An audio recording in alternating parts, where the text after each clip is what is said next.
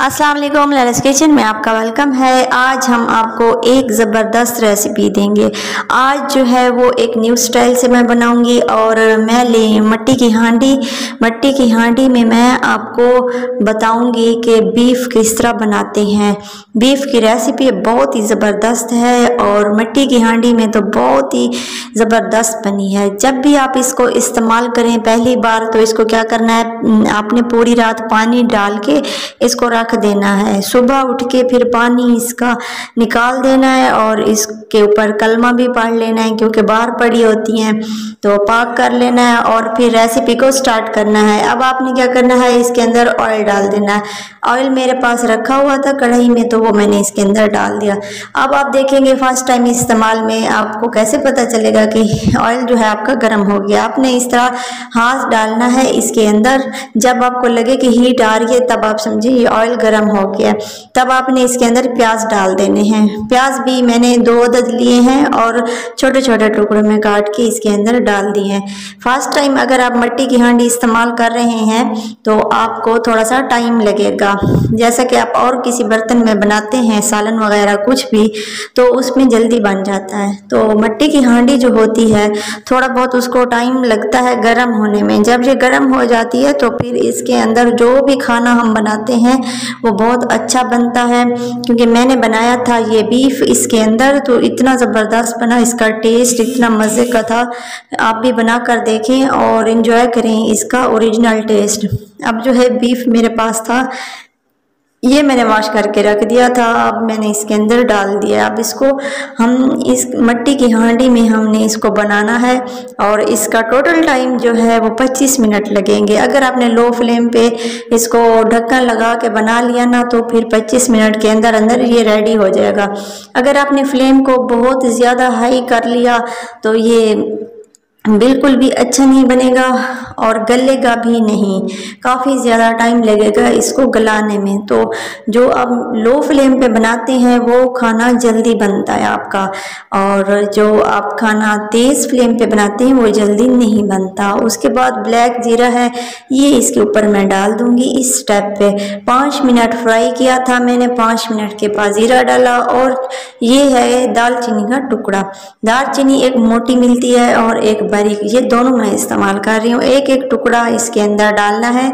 ये आप बीफ के मुताबिक ही डालें, जितना आपका बीफ होगा, उतना ही आपने ये मसाला वगैरह डालना है।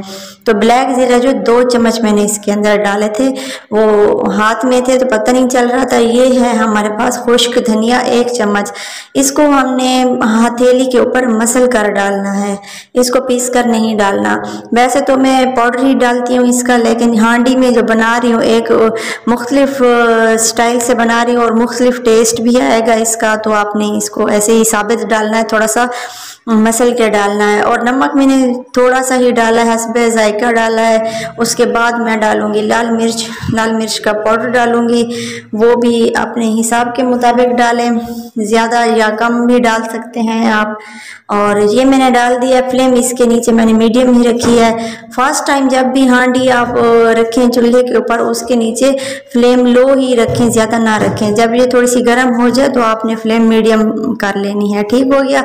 तो अब ये सारी चीज़ें मैंने जितनी भी डाली हैं, ये भी आपने इस स्टेप पे आके डालनी है। पहले उसको पाँच मिनट थोड़ा सा फ्राई कर लेना है, बाद में आपने ये वाले मसाले इसके अंदर डाल देने हैं। ज़्यादा और मसाले नहीं डालने थोड़ी सी चीज़ें हैं, ये आपने डाल देनी है। और फिर मैंने इसके अंदर पानी बिल्कुल भी नहीं डाला था।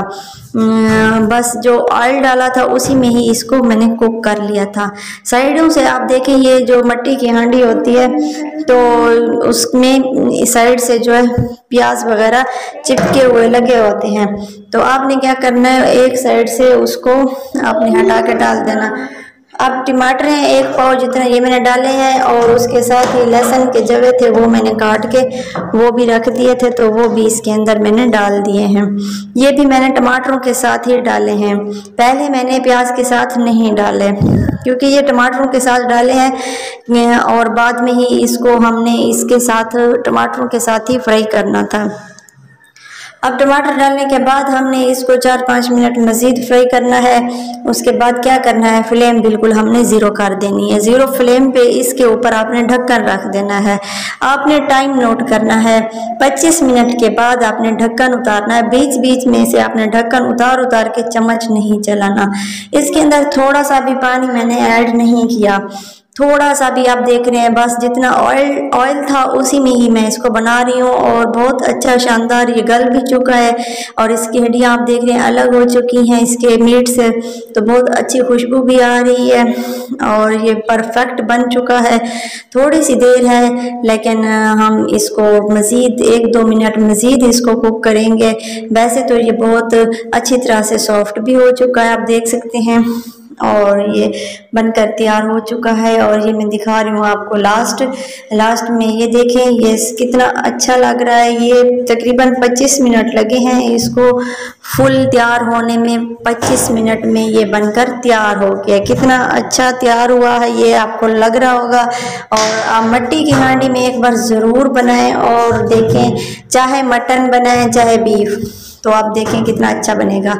और इसमें मैं आपको और भी रेसिपीज़ दूँगी मिट्टी की हांडी में।